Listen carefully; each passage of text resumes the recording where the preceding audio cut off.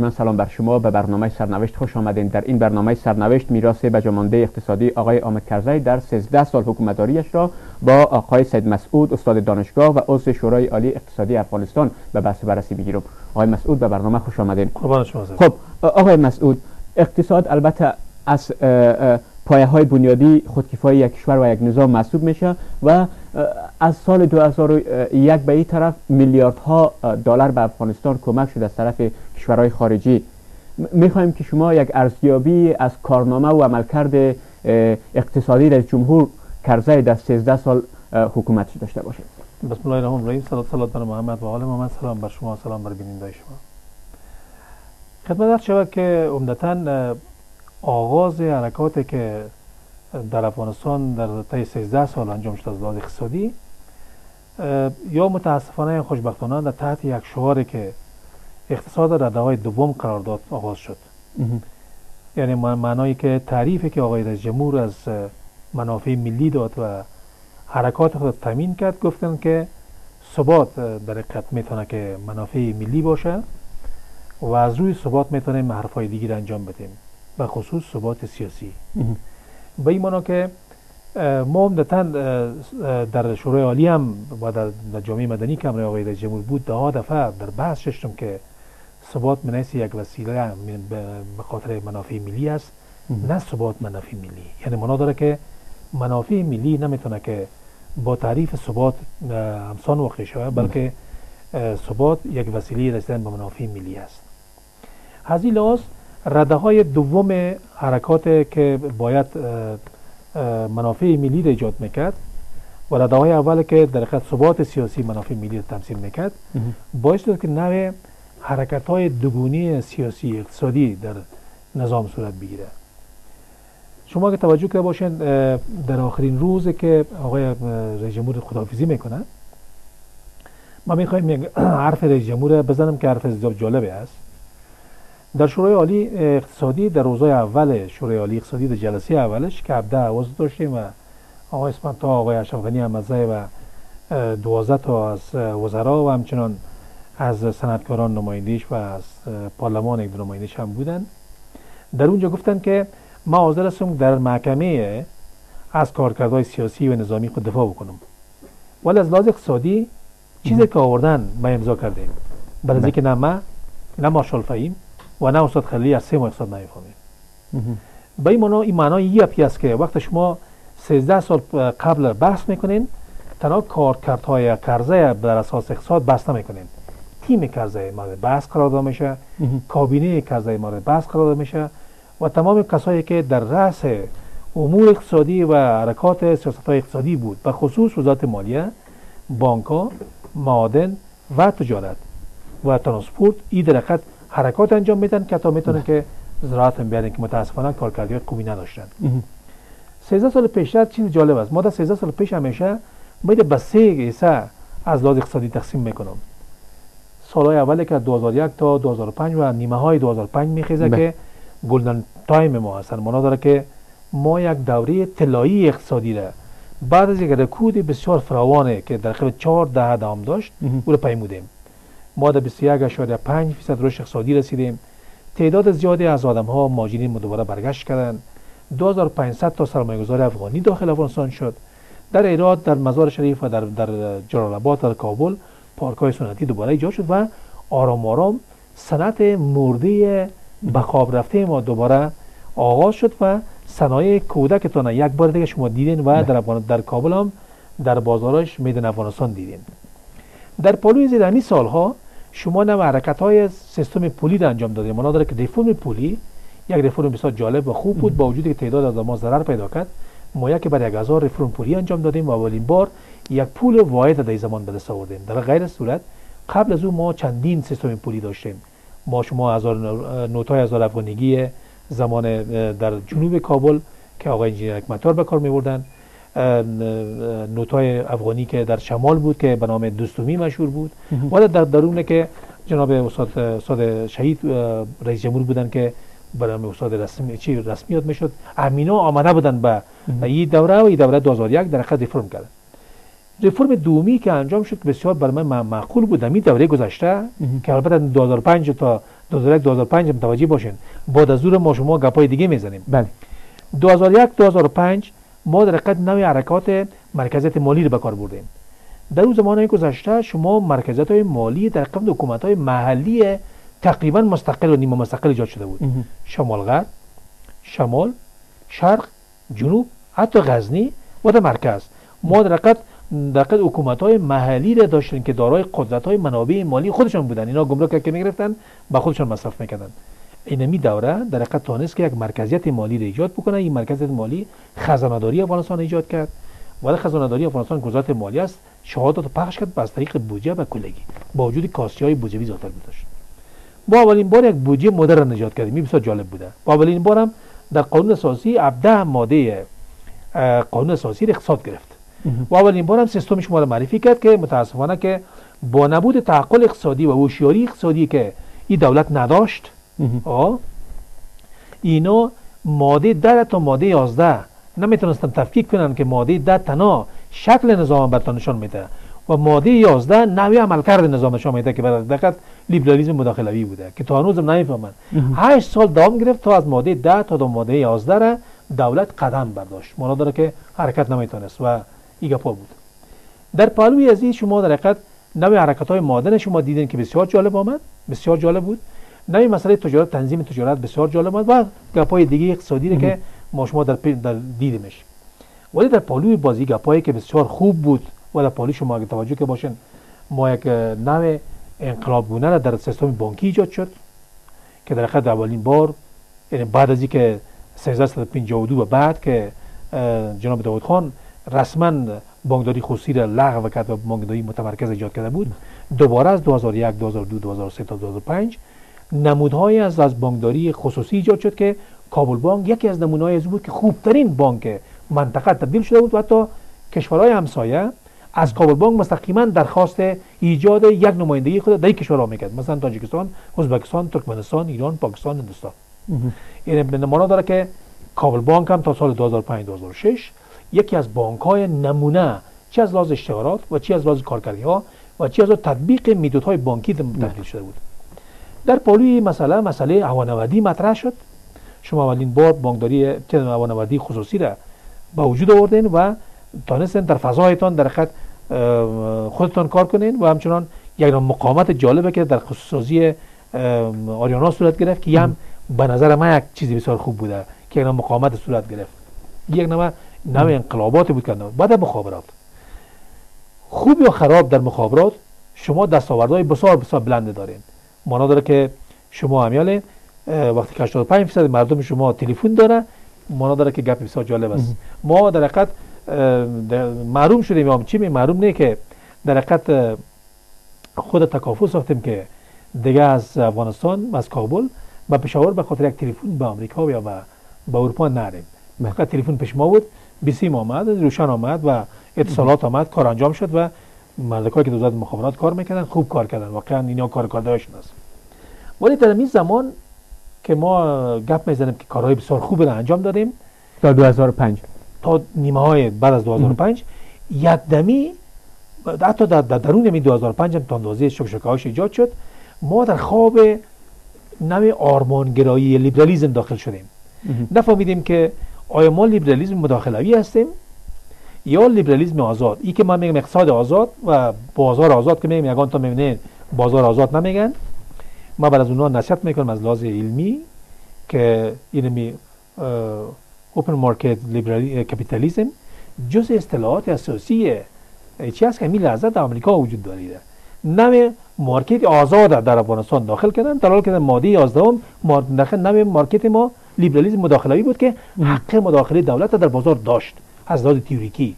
یعنی در وقتی که کینز چنین چیزی رو با وجود میاره با 1945 میگه بدون دولت نمی‌تونیم که شما یک بحران از بین ببرین. ما این شکل با 1945 داشتیم. 1945 هم از یک جنگ بیرون آمده بود جنگ دوم جهانی. ما از یک جنگ چندین دهه بیرون برآمده بودیم. بدون دولت میشه که سکتور خصوصی رو بدون حمایت کنی ایرایش کنی خود نه. معنا داره که یک دولت بسیار ضعیف و دولت بسیار کوچک غربی ها می‌گفتن که باید ما باید بسازیم. متاسفانه اونم نساختیم. حکومتداری درست نتونسته بودیم و هم می‌خواستیم که لیبرالیسم هم در, در, در اقتصاد پیاده بکنیم که این بسیار جالب بود که موقعی که من یک سوال می‌کنم من از دوستای ما از خود آقای کرزی از خود تیمش. در صورتی که 20 فیصد ما اقتصاد تبادلوی باشه و 80 فیصد اقتصاد معیشتی باشه چگونه بازار آزاد می‌تونه در بازار بشینه چگونه این نظام می‌تونه مارکت بشینه شما می لحظه با همین لحظه که یا 13 سال گذشته در ده شما میرین یک دهقان برای خودش تولید می‌کنه. بله. برای خودش گوسفند تربیت می‌کنه برای خودش باغ جور می‌کنه و درخت چوبار می‌گیره برای خودش روغن ایجاد می‌کنه برای خودش هر چیز میاره. تنها 20 فیصد از تمامی کارکردهای خود میارن در بازار. یگان بوره می‌خره و یگان یگان چیزا یگان تکه می‌خره که خودش نمی‌تونه. باقی مانده معیشتی است. آیا میشه در اقتصاد معیشتی لیبرالیسم بیارین؟ از این لحاظ است که نظام مارکت آوردن اول که در روزهای اول است نظام مارکت خودش نمای اشتباه استراتژیک است در بازار. دومین اشتباهی که بسیار اشتباهی کلان سومین اشتباهی بسیار کلان که ما انجام دادیم است که ما مدل را آوردیم. این معنا داره که از 2006 به بعد است. بله. شما متوجه باشین که ما موقعی که موفقیت های کلان ایجاد کردیم جنگ عراق حوج گرفت و غرب روی خود از از افغانستان به طرف عراق دار داد. بوش در عراق گفت که ما در عراق به یک چیز بسیار محتاج هستیم و متاسفانه نداریم. و او آقای کرزی است. یعنی کرزی در زمان به دید از امتدی آمریکا چپندش خوبترین لباس دنیا شمرده شد که طالبی اعلان کردن. خودشان بهترین مدال های دنیا را برشان دادن. حتی در, در یادم میاد که در انتخابات دوم پیش از اینکه اعلان شود مسئله انتخابات در بروکسل رفتن مدال کلان در گردنشون آویزان کردن. کلاهشان بهترین کلاه دنیا اعلان کردن. خودشان بهترین دموکرات و در حقیقت نمونه دموکراسی جنوب آسیا اعلان شد. مانا داره تا وقت جمهوری خواه بوده. در این زمان ما یک مدل برای ما خارجی آوردن از اروپا از آسیای شرقی برای برای افغانستان که تطبیق می‌کنیم. و او در سرمایه تجاری بود. میفتن که شما تجارت کنید زیادتر بازارتون رو باز کنید تجارت کنید از این تجارت شما پیسه به دست میارید با پیسه به دست آوردن شما بگیرین او رو به کار پرتین و در صنعت جور کنیم آسا آسا صنعتتون انکشاف بکنه مثل که آسیا شرقی که در فیلیپین اندونزیا کره جنوبی و غیره. از بس که من میره مسئله رو تر می‌کنم حالا تقریبا یک دو سال شده که کس همین نمونه کره جنوبی و مالزیا یاره غیر آقای محمود کرزی کس دیگه نمیگه. ما آرزو دارم که یک روز ما محمود کرزی رو برو بشینیم و برش حالی کنم که چنین چیزی را مدل مدل بسیار در حقیقت دور از تعقل اقتصادی است. با وجودی که بسیار موفقانه در اونجا بوده. اینا اینجا آمدن دروازه رو ما استفاده کردیم دروازه در همین زمان کرزی استفاده میشه دروازه های باز اقتصادی استفاده میشه. دروازه باز این معنا داره که شما تمامی کالاهای خارجی اجازه میدین که داخل افغانستان به و رقابت کنن با یک تولید کوچک شما که نه آغاز کرده و داره کیفیت بلندم نیست. اونو آمد آرام آرام سر برید تمام صنعت شما را و صنعتکارا شما تبدیل به گدایگر. صنعتکارا شما حمایه نتونستن نه برق داده تونستنش نه زمین داده تونستنش نه حمایش می‌کنن از گمرک و غیره. در مقابل یک بلای تولید خارجی هم قرارش میتین شکست کردن. و سرمایه صنعتی و سرمایه تجاری تبدیل شد. و دید که پایه مفاد نیز زیادتر است. من چرا صنعتکاری کنم؟ حالا چرا ماشین بخرم؟ دروازه فابریکه را قلف کرد تعداد کارگران رخصت کرد و آمد امرای سرمایه امرای تجارت یک شد و تجارت کرد و بسیار بسیار زندگی کلان پیدا کرد پرستیژ اجتماعی پیدا کرد. مردم کاروبارشان در تجارت خانه زیاد شد ولی تولید نیست که میدن افغانستان باشه. بله. در پالوی از این ما سکتور هم انتخاب نتونستیم. ما در حقیقت بازم در فرمول غلط گرد خوردیم. شورایی ها می‌گفتن که شما صنایع ثقیل ایجاد کنید برای ما غربی ها گفتن که همین معدنتان ایجاد کنید و ترانزیتتان. ترانزیت و معدن اردوش به امنیت گره خورده. و امنیت به دست همسایه بود. من نتونست کار انجام بده.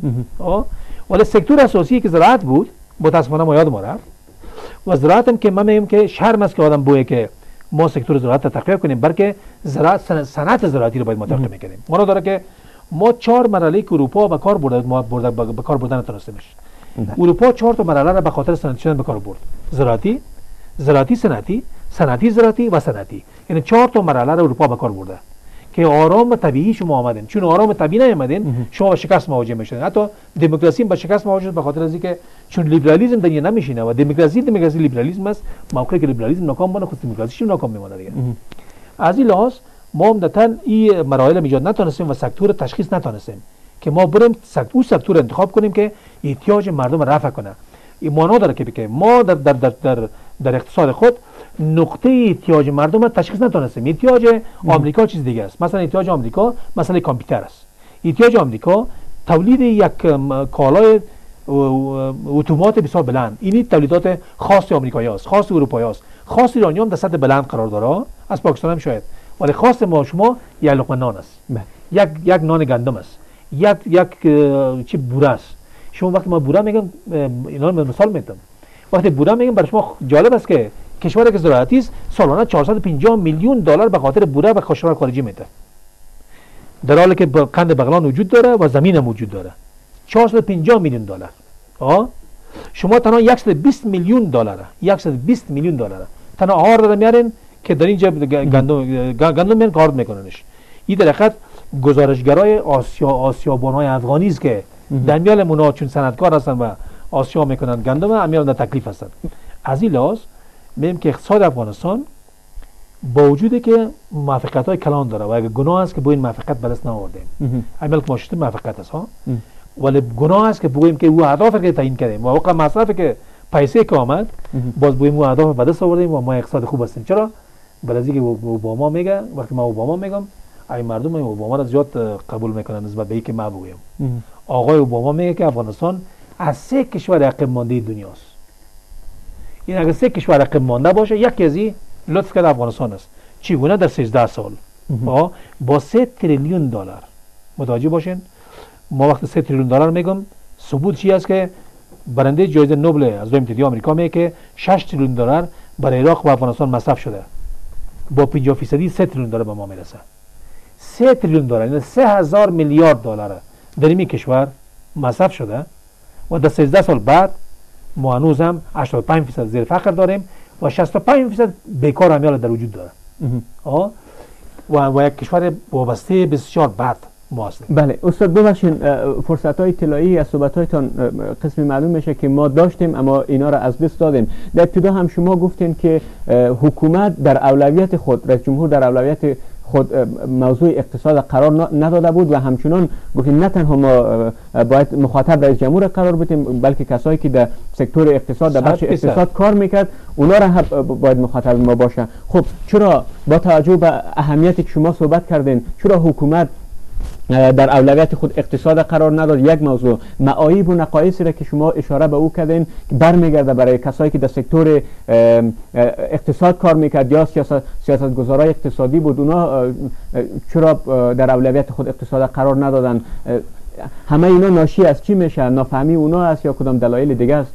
خدمت شما عرض شود که روزای اول انتقاد من بالای دوستای ماست که از بیرون آمدن.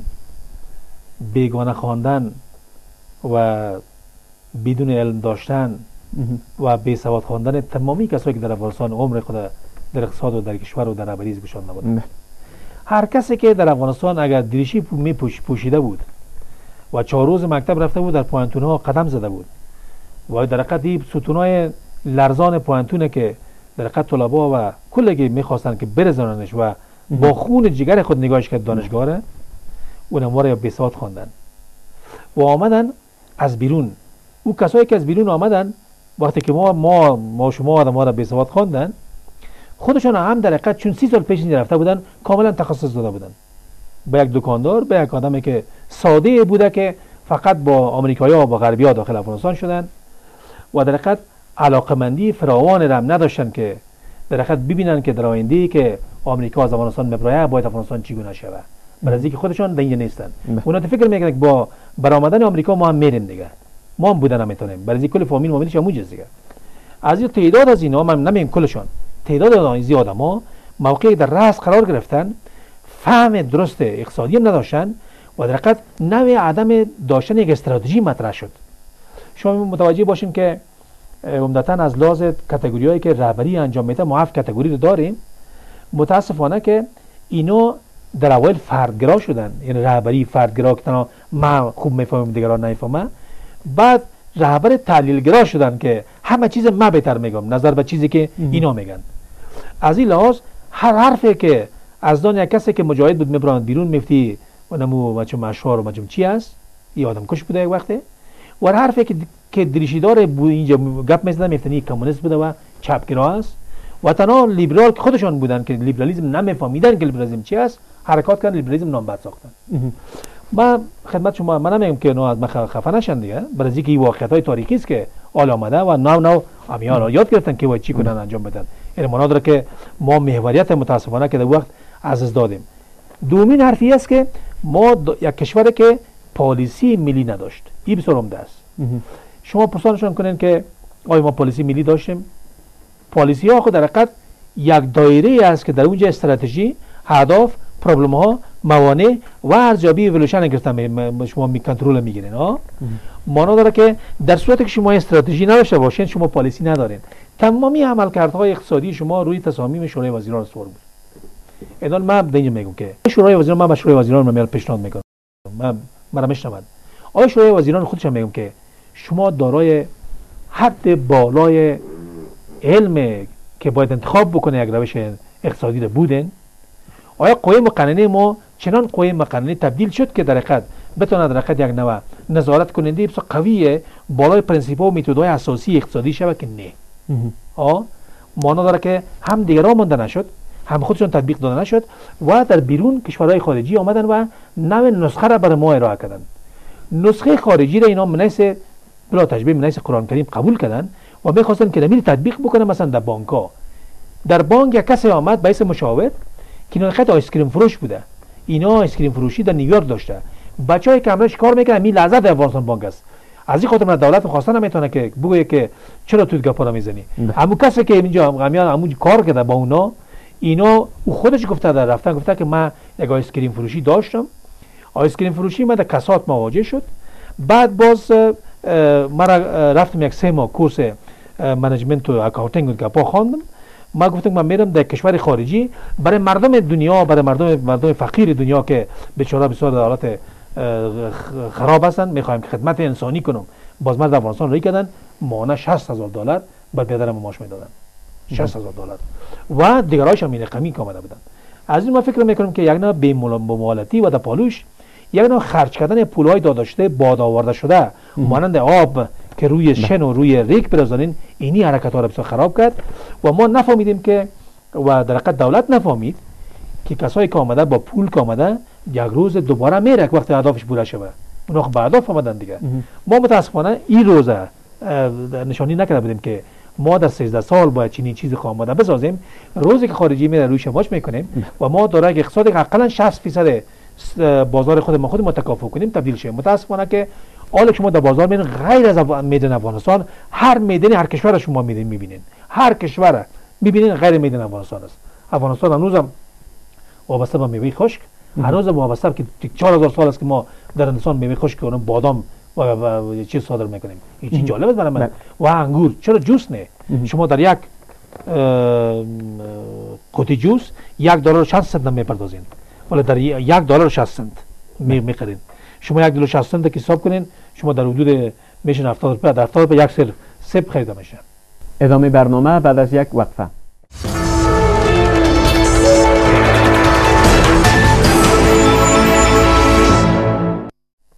به ادامه برنامه خوش آمدین جناب استاد خب از سال 2001 به این طرف کشورهای ثروتمند دنیا به افغانستان آمدن ده ها میلیارد دلار مبالغ انگفتی البته در افغانستان کمک کردن.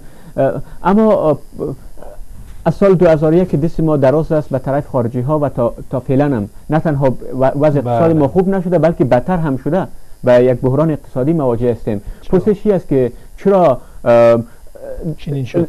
بله چرا چنین چنین شد و چرا کارهای زیربنایی صورت نگرفت؟ بله. واقعا که حداقل همین دست ما دیگه حداقل کم جمع شد از دراز بودن برای خارجی ها ببینید که مردم هیچ ملامت نیست. مردم با پوست و گوشت خود با یک دلار و یک روپیه خود به افغانستان آمدن و در قطر زمین کاشتن. ولی دولت چی کرد؟ یکی از انگیزه های اساسی ایجاد دولت از لحاظ علم دولت دولت داری عبارت از حفظ حقوق فردی افراد است. وقتی شما میایین حق دارن که سرمایه گذاری کنین حق دارن که مسئولیت داشته باشین حق دارن که تربیت شما تعلیم تربیت کنین حق دارن سفر داشته باشین کلش حق که حق باید نگاه بکنه.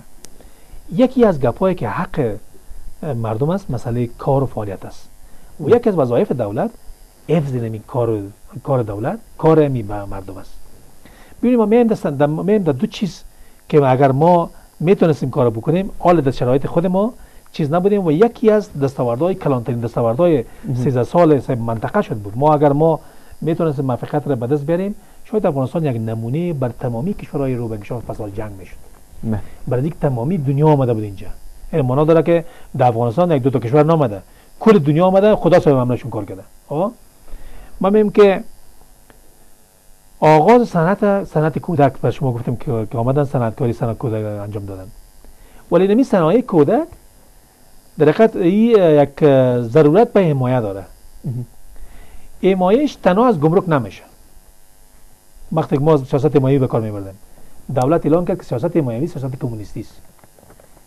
دو سه تا وزیر مستقیما مرا گفت که استاد چون از سابقه آمدیسون تو دیگه سیاست های سیاست های چپگرانه تا محکم میری همین سیاست چپگرایانه است. یا تو فکر می‌کردن که کوپون حمایه صنعت و دفاع از مردم عدالت خواهی عدالت و اینا در حقیقت نام کمونیستی است و بیخوماندی انارشیزم دیگه. باک است مربوط خود از ایناست که چون نمی‌فهمید. در حالی که انارشیزم یک بلای بر لیبرالیسم و بر, بر نظام مارکت است. یک بلاست. این وقتی که صنعت شما ایجاد کردین یک بسته مایوی را باید ایجاد می‌کردین. این بسته مایوی ایجاد شد. شورای وزیران گذاشتاندش شورای عالی اقتصادی تصویبش کرد. وزارت مالیه تطبیقش نکرد. مانا داره که باید شما از نگاه مالیه حمایشان می‌کردین. از لحاظ برق باید حمایشان می‌کردین. از لحاظ زمین باید حمایشان می‌کردین. از لحاظ بازاریابی باید به شما حمایت می‌کردین. از لحاظ پیدا کردن ظرفیت هم برش حمایت میکردنش. توجه کردین؟ من یک مثالی که ساده براتون می‌تونم ببینید که چگونه حمایت نکرد چگونه سقوط کردیم. ما صنعت ما چگونه سقوط می‌کنه. در بازار باز استفاده می‌کنین. میگن که سیاست حمایوی شما به کار نبرین. خب نمی‌بریم چطور کنیم؟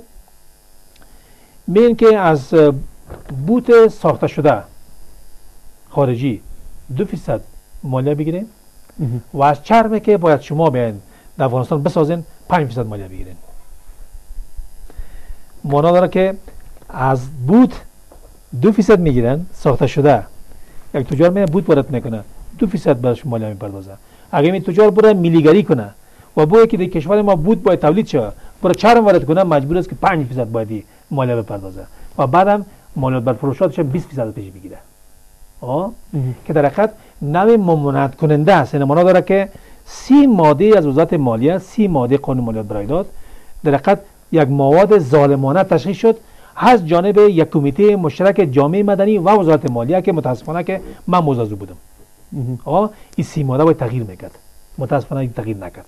یعنی داره که ما توسط مالیه سیاست مایوی به کار نبردیم ما توسط دادن برق و پایین کردن مصرف پیسه که اینا بر برق میدن فی کیلووات ما حمایه نکردیم ما توسط دادن کردیت های بانکی برای از صنعتکارا او حمایه نکردیم و غیره در پولیس زراعت ما در, در, در جای خودش ماندیم ببینید که نظر به تحقیقات و تدبیرات که صورت گرفته معاون موین وقت دکتر رسولی است. موین وقت وزارت آب و برق. برای من گفت در یک سمینار که دره بیسود ولایت میدان وردک ظریفیت ساخت ده بند آبگردان بالای دریای ایرمن داره. بدون از که از لحاظ حقوق بین دول یک خدشه هم در حقیقت سر و صدا ایران بخیزه. سه بنده که ما می‌سازیم می‌تونستیم بسازیم در در دریای در در دریای دری بیسود می‌تونست چهار تا ولایت زیراب بگیره. شما در یک بنده که بالای دریای کوکچه می ساختین برای اینکه دو در طرف ساختگی است فقط شما یک دیوار مندازین در بین برای اینکه کوکچه بسیار چخور است. این مصرفش بود یک میلیارد و 700 میلیون. بله. ما رفتم گفتم که عالم نفر که هست حالا که نمیم که نگی ما تخریب می‌کنه گفتمش چرا نمی‌سازی؟ گفتی 5 سال وقت داره. ما تا 5 سال تاریک بشینیم. علاوه از اینکه این تعداد واردات تاجیکستان و ازبکستان برقش در خط جبران می‌کرد و جلوگیری می‌کرد از رفتن اسعار شما چهار ولایت شما را کاملا آبی میساخت. یعنی کندوی منطقه می‌شد. بله. شما در حقیقت با با با چهار بند بزرگ ما برشان دادیم این تره چهار بند بزرگ دوازده بند بند متوسط و دوازده بند که مجموع چل, چل تا میشه بند کوچک. شما این کشور آبی می ساختین و از جلگاه از جلگاه های آموار دریای آمو الا کوه های پکتیا شما آب به صورت مسایانه توضیح می‌تونستین. این می‌تونه در ظرف پنج سال انجام شده متاسفانه اونا فقط سوار می‌دیدن و فقط بستش کردن یک, یک, یک فریاده که نگویم ما برق نداریم ما تاریک هستیم. ولی پنج سال بعد وقتی که مردم در گشنگی میج نمیشه همین شما برقایتان هست که برق ما نیست دیگه. خب؟ این از ایران ترکمنستان تاجیکستان و ازبکستان میاد. چهار کشور بر شما برق صادر می‌کنه. من یک مثال برای یک برای وزیر گفتم حتی مثال برای آقای رئیس جمهور گفتم یک وقتی که دو سال پیشتر از امروز آقای احمدی نژاد سه سال پیشتر احمدی نژاد در یک بیانیه خود گفت که ما 38 هزار کیلووات برق تولید می‌کردیم. ساعت برق. و تعطیل داشتیم. بعد فکر زدیم که سرزی باید کار کنیم. گفت در دو سال این تولیدات خود به 68 هزار کیلووات ساعت بله. برق بلند بودیم. حالا یکی از کشورهای صادر کننده برق در منطقه ما هستیم. خب؟ بله. استاد ببخشید که صحبتایتان قطع کردم چون فرصتم اندک است. خب شما از صحبتهایتان قسم برداشت شد. در مورد قانونی که در ارتباط به این موضوع بود صحبت کردین که اتو معلوم میشه که عمدن و قصدن نخواستن که به گفته شما ملیگرایی شوه یا هم تجارای ملی صنعت ملی ما رشد بکنه. صحبتهایتان چونین معلوم می‌شد. خب به هر حال ما ناکامی های اقتصادی هم که داشتیم دلایل عواملش هم گفتین. یقینا که در بخش های متعدد بویژه در بخش اقتصاد و مالی ما مشاورین بیرونی هم داشتیم که اینا در ماه میلیون ها دلار را معاش اینا می شدن خب اینا به عنوان مشاورین یا متخصصینی که آمده بودن چرا اینا کار نکردند که ما حالا به بحران اقتصاد مواجه هستیم و کاملا خزانه ملی افغانستان هم خالی است. خود ما بله. رو میگم. ما گفتم که نلدوان آمده بودن مشاور شد. ما گفتم که نفر ice cream داشت. دکان ice cream فروشیش به کساد مواجه شده اومده به مشاوره 600 دلار در بانک مرکزی. ببینید که یک ice cream فروش می‌تونه که یک یک مشاور بانک مرکزی کشورش خونه. نه؟ در پاریس وزارت مالیه و وزارت تجارت ده ها تا تجار چه مشاورین وارد کردن که این مشاورین غیر از اینکه دو تا وظیفه داشت. وظیفه اولیش که بعضی مشوره را می‌داد برای وزیر و مشوره دومیش بود که راپور نشه می‌کرد به کشور خودش. این یعنی معنا داره که نوع نظارت کننده سر کارهای یک وزیر حرکت می‌کرد. بسیار جالب است که موقعی که می‌خواستن که یک از دریای کابل یک نر به جلال آباد بکشن و جلال آباد دور بزنه و تمامی جلال آباد در حقیقت نگرها را در زیر آبیاری بیاره دوباره او میره پس به دریا میفتاد و هیچ گونه نوع معزله منطقوی را بین ما و پاکستان ایجاد نمی‌کرد. این وزارت آبرسانی به من گفت که ما برشان ایمیل کردیم که ما می‌خوایم چنین چیزی رو بسازیم. خب؟ آمریکایی گفت ما پول نداریم. شما می‌تونید پلانتون قرض بدین قرض کنین پلانتون بفروشین و گراو بدین پیسه پیدا کنین جور کنین. گفتید مستقیم به من گفته گفته تلفن گفته. بعد ما گفتیم که خیر است اگه شما بتین پای پیسه. گفت خب ما پول میتیم خیر است شما بسیار چی میگن برین دوستان پاکستانی تون قناعت بدین تا ما خیلی کار انجام بدیم.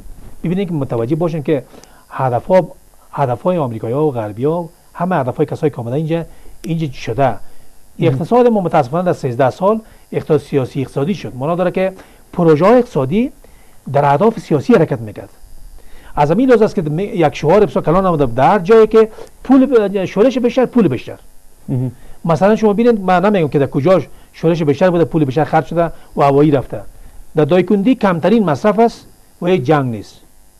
در بامیان که جنگ نیست و و تروریست گپا نبوده کمترین مصرف کمترین پروژه حتی سرک قیر نداره. در بدخشان در مثلا بره مثلا در غور در جایی که اصلا هیچ در بادغیس در جایی که نفر نبوده جنگ نبوده هیچ گپ نبودم کس مصرف نکرده. ولی در جایی که در اونجا شورش بوده یا میفتن ما به خاطر میدیم که بدن کار کار ایجاد کنیم و با خاطر کار با ثبات کار که ایجاد شه باز من کار می‌کنن و فکر می‌کنن که مردم از خاطر گوشنگی و جنگ می‌کنن. در حالی که در پالوی مزارع بسیار کلان کوکنار نیروهای زیاد افزیده بود. ما یک چیز دیگه بهتون میگم که عمدتا در افغانستان یک چیز دیگه متوجه زیاد متوجه کلگی بوده خارجی ها. اقتصاد غیر رسمی اقتصاد غیر رسمی شما 72 میلیارد دلار سالانه می‌گیره در گپ آقای رئیس جمهور 110 میلیارد دلار. در کنفرانس بین‌المللی که در در هر چی در باغ بابر دار شده بود اونجا ما طرح می‌کردیم که 74 میلیارد دلار در یک سال مافیای بین‌المللی می‌گیره و قسمت دیگه زیر مصرف جنگ افغانستان میشه. ارمانات کلش اپوزیسیون نمی‌گیره. از مجموعه زیر 450 میلیون دلار دهقانای ما می‌گیره. بسیار جالب است. 74 میلیارد 450 میلیون که کل دهقانای شما می‌گیره. در حقیقت شما رو تبدیل کردن در, در یک در 1884 جنگ تریاک انجام می‌دادن. شما رو تبدیل کردن در یک مرکز تهیه مواد برای بازارهای رو و روبروش قیمت قیمت ها در نیویورک در در در واشنگتن و در در توکیو و در آمبورگ. بله. از این من میگم که اگر حال برادرای ما کامده که عبدوش که فردا انشالله که اینا قسمیت میگن سوگن من یک بهشون میگم که اشتباهاتی که در گذشته صورت گرفته بود اگر او اشتباه تکرار نکنن قسمی که همیشه هر کس آمده اشتباه گذشته را تکرار کرده و کلانتر کرده بوده بله. من فکر می‌کنم که ما در موفقیت می‌رسیم. بله استاد پرسش اخیر من امی است. خب با توجه به دستاوردهای که اندکی که داشتیم و ناکامی های بزرگ هم بود در بخش اقتصادی سوال اخیر من از حکومت وحدت ملی که قرار است کار خود تا چند روز دیگه آغاز بکنه از این ناکامی های 13 ساله حکومت رئیس جمهور کرزی در بخش های مختلف به در بخش اقتصاد اونا چی پند و اندرز بگیرن شما صحبت گفتنی های شما برای حکومت وحدت ملی من میگم برای حکومت. مرا می‌بینن و ما بهشون میگم. باید ما کاتگوری بندی کنیم. کاتگوری اولی اول کاتگوری از ساختار کابینه و دولت. مسلط بازی را لطفا ترک کنند. 13 سال مسلط بازی بوده یک والیه که به جرم بیکفایتی از ولایت پس می‌شد وزیر می‌شد. یک وزیر که از جرم بیکفایتی پس می‌شد سفیر می‌شد. یک آدم خرابه که یک چیز می‌شد وکیل می‌شد. سرانجام تحلیلگر اقتصادی می‌شد. آقا ما یگان تحلیلگر اقتصادی رو می‌شناسیم که خودشون شریک به چنین گپای بودن حال انتقاد می‌کنن. اول ما داره که ساختار رو تغییر بدیم در صورت که تقسیم بین دو تا گروپ صورت بگیره و تخصص گرایی در اینجا نباشه و دوباره متخصصین نبه و اون متخصصینی که تعهد برای زمین دارن و تعهد برای خاک دارن و در در هر صورتش ترک این زمین ترک نمی‌کنن. با مریضیش و دوستیش و جوریش و گپش اونو وقت می‌تونه که آدم بوی کسی کار می‌کنه. شب تا صبح. و آدم و گیج وابسته نمی‌باشه به کشورهای خارجی. خودش به خودش است. اول. دومی که تلاش صورت بگیره تا سکتور معینه تشخیص کنن که ما از کدام سکتور آغاز کنیم. متاسفانه چره‌ای چره‌ای فیر کردن که در طول 13 سال چره‌ای فیر کردن و از هر جا آغاز کردیم ما را می‌بره به ناکامی. سوم. یک بیلانس متوازن بین دستاست خارجی خود ایجاد بکنن یعنی معنا داره یک توازن بین های خارجی بین المللی و های منطقه وجود بیاره متوجه باشه که ایران پاکستان چین هندوستان و روسیه دست بسیار دراز دارن. مانند که آمریکا در اینجا حمله ناتو. ما نمی‌تونیم که بریم یک نوع منطقه گرایی افراطی به کار ببریم. بله. ما در حقیقت هر دو رو باید به دست خود بگیریم و حرکت انجام بدیم. سومش ظرفیت های چهارمش ظرفیت های معین داخلی را باید تقویه کرد و در, و کار انداخت. استاد سپاس از حضورتان به برنامه. قربان شما بینندگان ارجمند این بود برنامه سرنوشت. خدا نگهدار.